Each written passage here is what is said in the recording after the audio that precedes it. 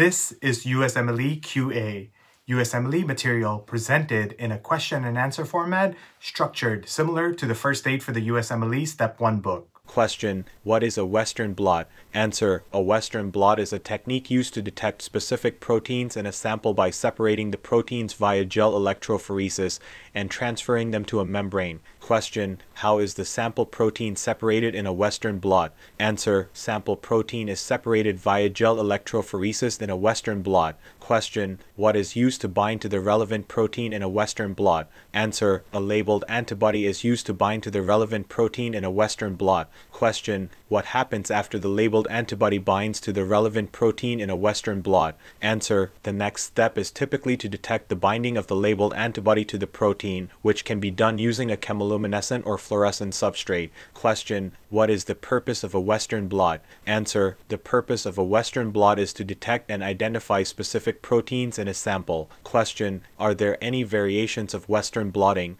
Answer Yes, variations of Western blotting include the use of different types of gel electrophoresis, different types of membranes, and different detection methods. Question What are the advantages of using Western blot? Answer Western blot is a sensitive method for detecting specific proteins in a sample, and it is widely used in research and diagnostic applications. It is also relatively easy to perform and can be used to detect proteins of different sizes. Question What are the limitations of using Western blot? Answer The limitations of Western blot include the need for a large amount of sample, the potential for non-specific binding, and the fact that it can only detect one protein at a time. Additionally, the process can be time consuming and requires specialized equipment. Question How is the transfer of proteins from gel to membrane done in Western blot? Answer The transfer of proteins from gel to membrane is done through a process called electroblotting or electrophoretic transfer. It involves applying an electric field across the gel and the membrane, which causes the proteins to move from the gel to the membrane.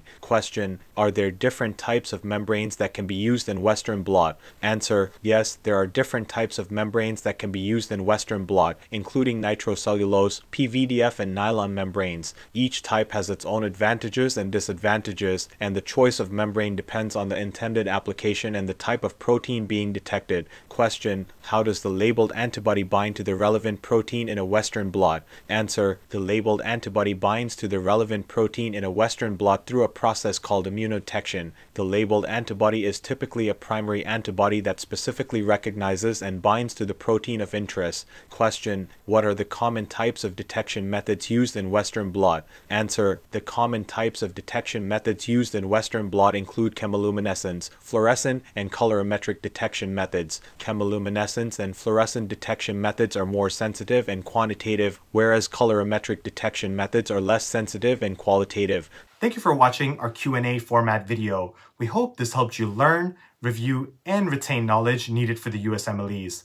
For more information on this topic, check out the link in the description.